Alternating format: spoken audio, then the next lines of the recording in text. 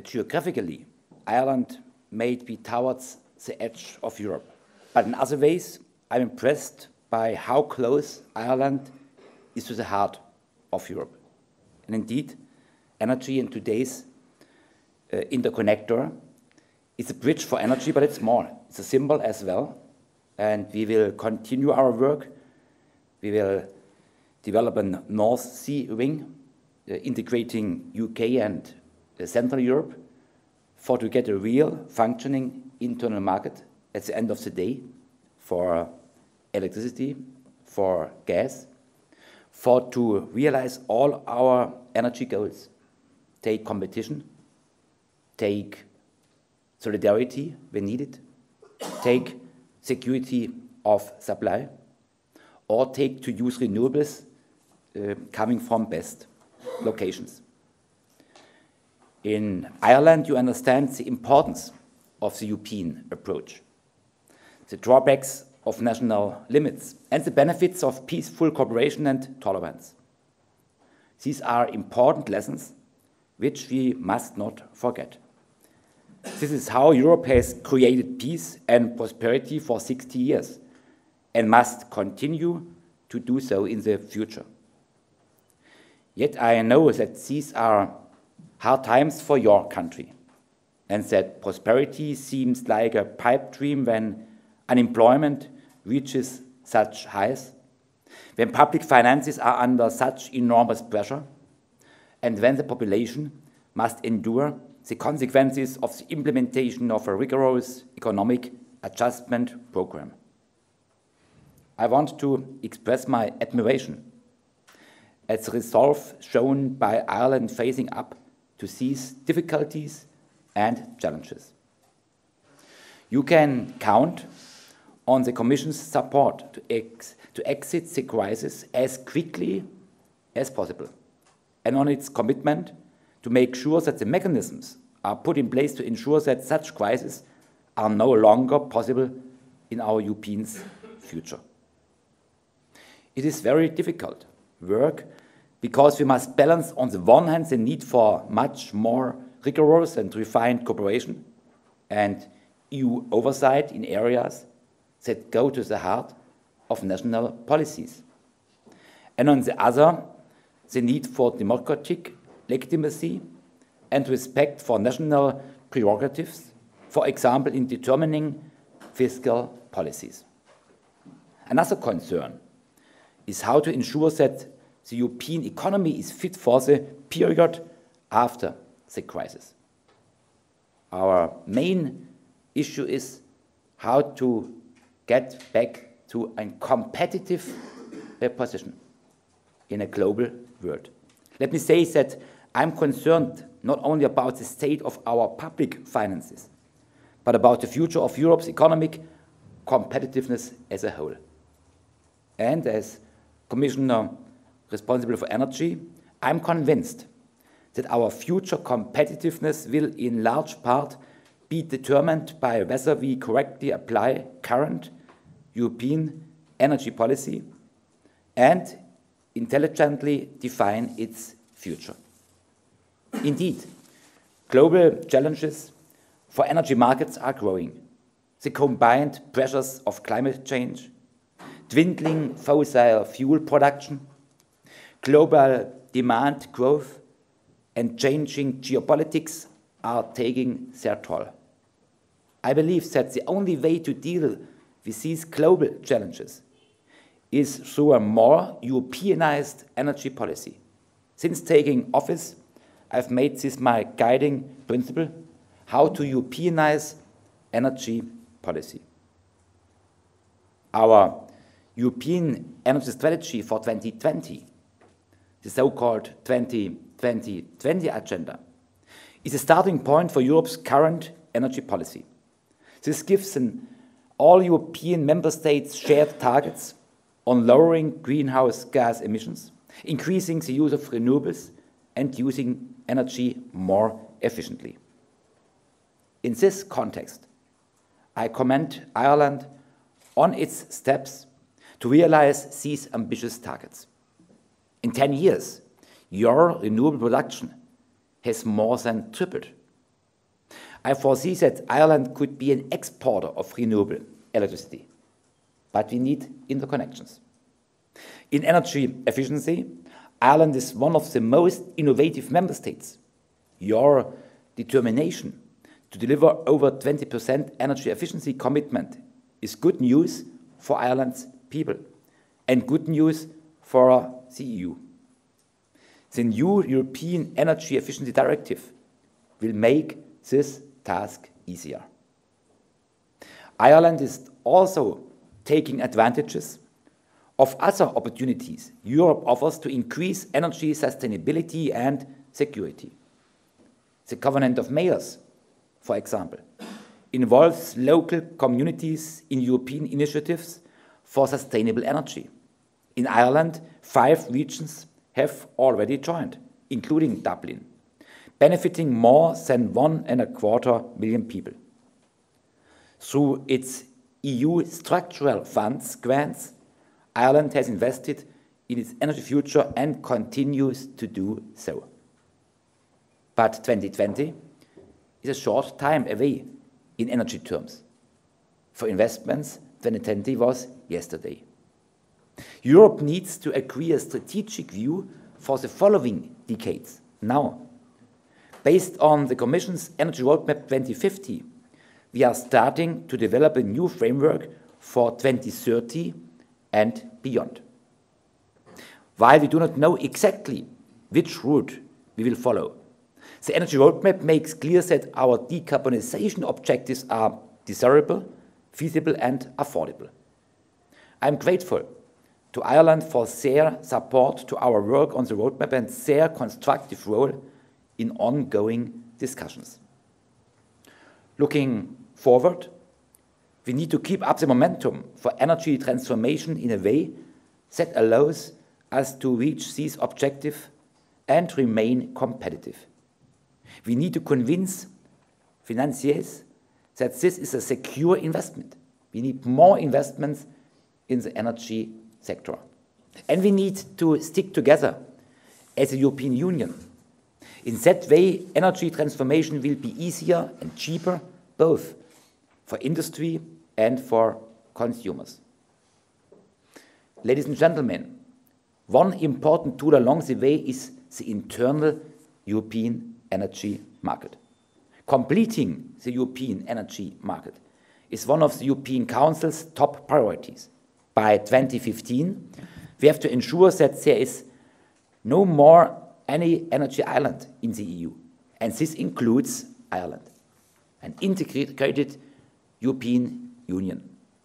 By then, electricity and gas should flowing freely within the EU, and remaining barriers should be taken away. Countries at the end of the supply chain, Ireland included, will be able to trade more freely and on equal terms with other parts of the EU. We have to ensure that Europe's energy market bring benefits to all players with greater efficiencies in production and supplies. Energy markets will help ensure that electricity is produced where it is most economical. Both our gas and electricity systems will become more flexible. Supplies will be more secure and prices more stable. An interconnected electricity and gas market is the foundation stone for realizing our 2020 and 2050 ambitions. In Ireland, we have seen that also small member states can benefit from market integration and competition. This is a clear lesson from introducing the single electricity market with Northern Ireland and the removal of price controls at the retail level. But I will be frank, the internal European energy market is yet not operating in the most efficient and flexible way.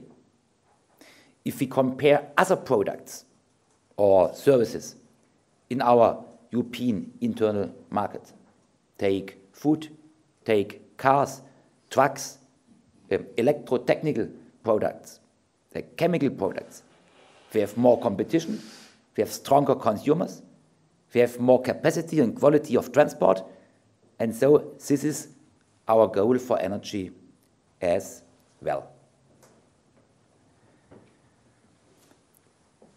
We have made major advance in recent years, but there is still more to be done, and we must make sure that member states stick to their commitments on better implementation of current legislation, more investment, and on properly targeted government um, intervention, which does not create obstacles to a well-functioning market.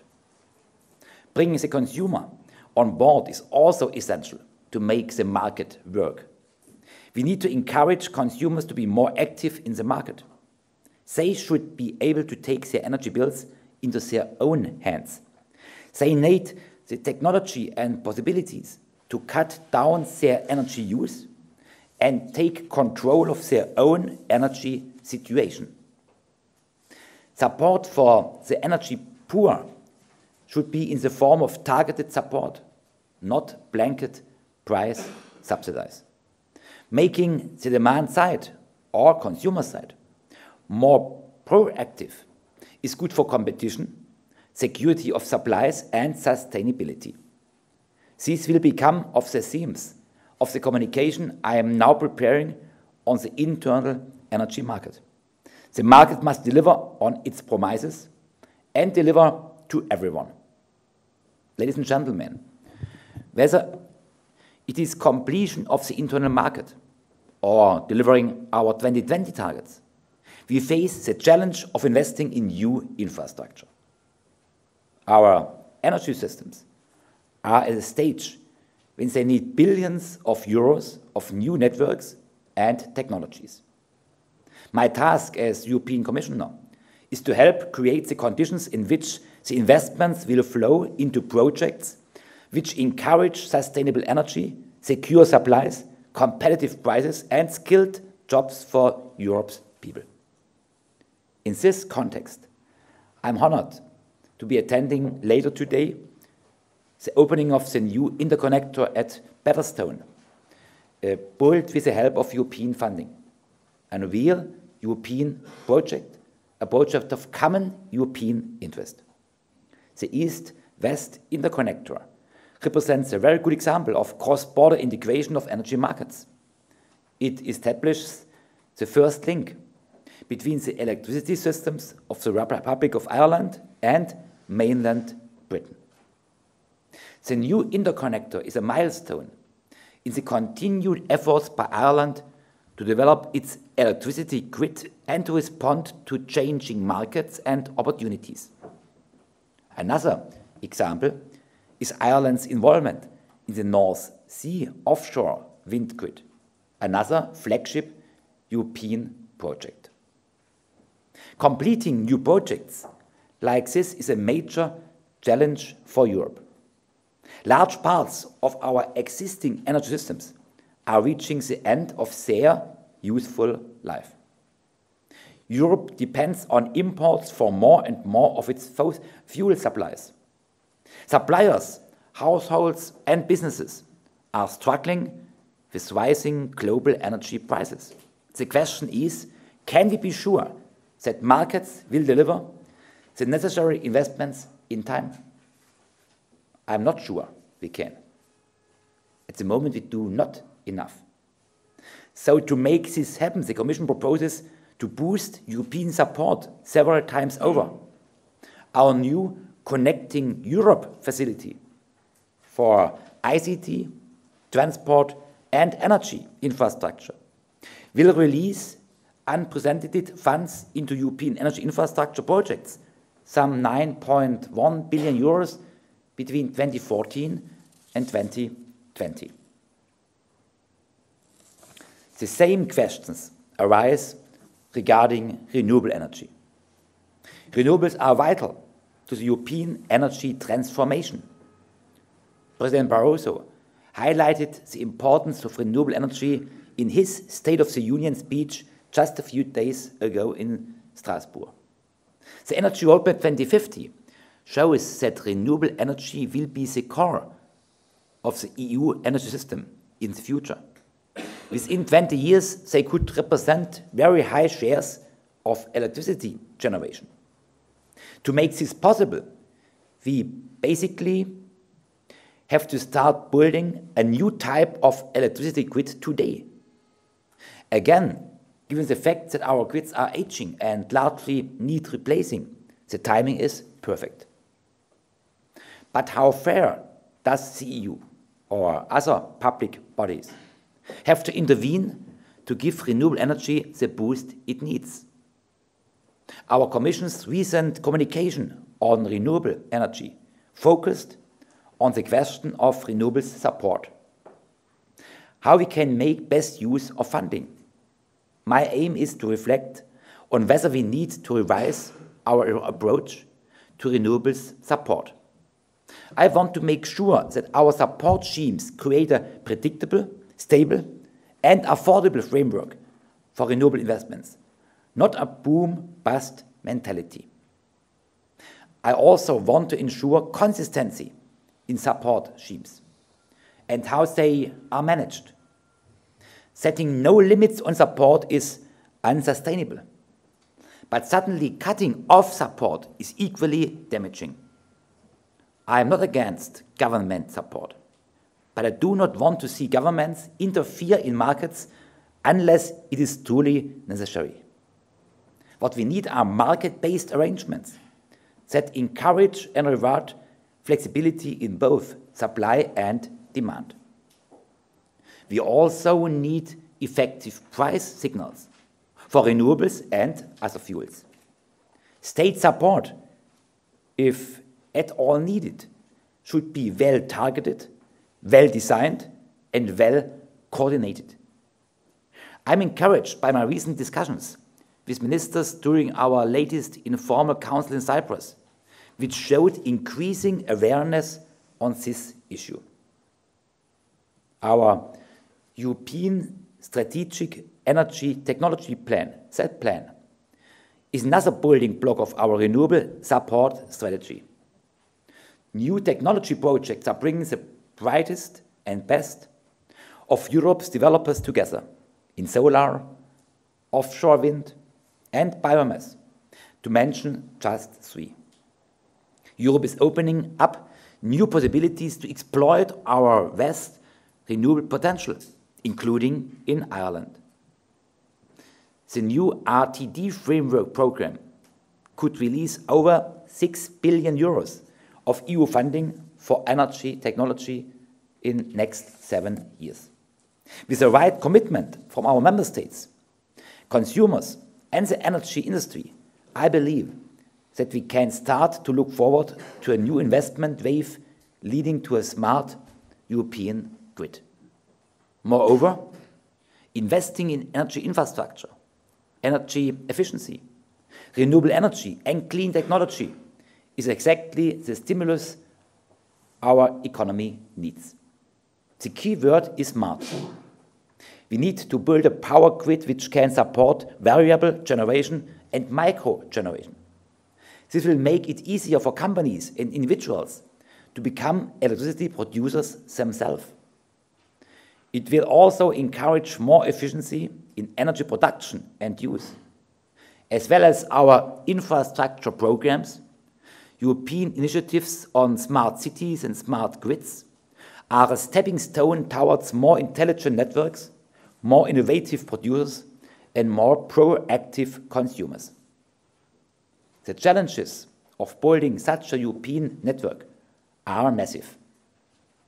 Incorporating renewable energy, micro generation, and new sources of energy and gas supplies is an even greater challenge. For our part, the EU can provide a stable regulatory framework where everyone can contribute and everyone can benefit. Network operators, producers, suppliers, regulators, and importantly, consumers.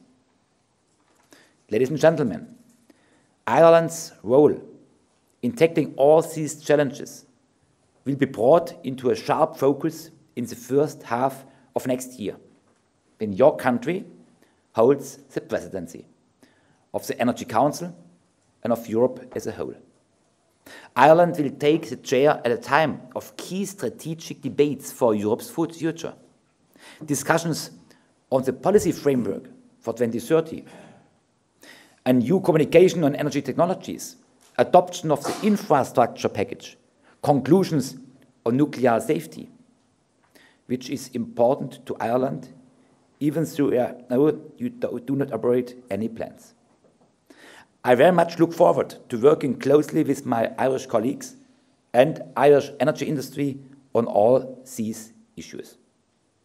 To conclude, I'd like to repeat my convict, conviction that Europe's energy strategy offers a unique chance to strengthen Europe's economy, improve services to customers, and bring online the investments we need to make our energy systems fit for the 21st century.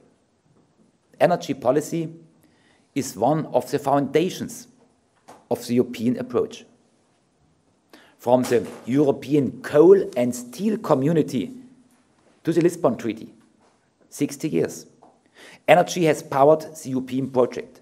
Today, European energy policy brings Europe's nations together to tackle some of the major challenges of our time. And in the future, with the right framework and commitment, it can help make Europe stronger, more secure, and more prosperous. Thank you all for listening.